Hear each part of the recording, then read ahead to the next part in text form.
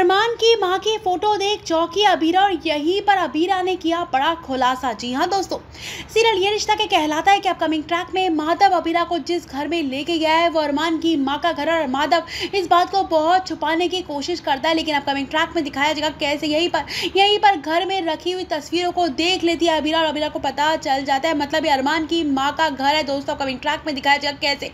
यहीं पर अबीरा की नज़र पड़ने वाली है। यहाँ पर अरमान की माँ की फोटोग्राफ पर, जिसे देखकर अबीरा हैरान हो जाती है। माधव पीछे से आता है और अबीरा पूछते हुए नज़र आती है कि फ़ोटो किसके? माधव कह देता है कि अबीरा की माँ, अबीरा ये अरमान की माँ की फ़ोटो है जो इस दुनिया में रही नहीं और यहाँ पर अबीरा कहते हुए नज़र आती है। अबीरा ज़ोर से चिल्लाती है और कहती है, आप झूठ बोल रहे हैं, आप झूठ बोल रहे हैं। शांता काकी शांता काकी जो है ज़िंदा है दोस्तों। कमिंग ट्रैक में दिखाया जाएगा कैसे अबीरा के मुँह से शांता का नाम सुनकर माधव जो है चौक जाता है और कहते हुए नज़र आता है। तुम शांता को जानती हो? क्या तुम उसके बारे में सब कुछ पता है? और यहाँ पर यहाँ पर अबीरा कहते हुए नज़र आती है हाँ मैं जानती हूँ शांता आंटी को, क्योंकि वो वो जो है हमारे मसूरी में रहती है और वो जो है घर घर में जो है यहाँ पर झाड़ू पोछे और काम छोटे मोटे काम करती है दोस्तों कमिंग ट्रैक पे यहीं पर। माधव के सामने जो है यहाँ पर पैरों के नीचे ज़मीन खिसक जाएगी कि उसका प्यार जो है, उसके अरमान की माँ जो है ज़िंदा और आज तक अरमान यही सोच रहा है कि उसकी माँ इस दुनिया में रही नहीं है। दोस्तों कमिंग ट्रैक में दिखाया जाएगा कैसे यहाँ पर अवीरा लेकर जाने वाली अरमान को और माधव को अपने साथ मसूरी और यहीं पर यहीं पर होगा बड़ा खुलासा भी।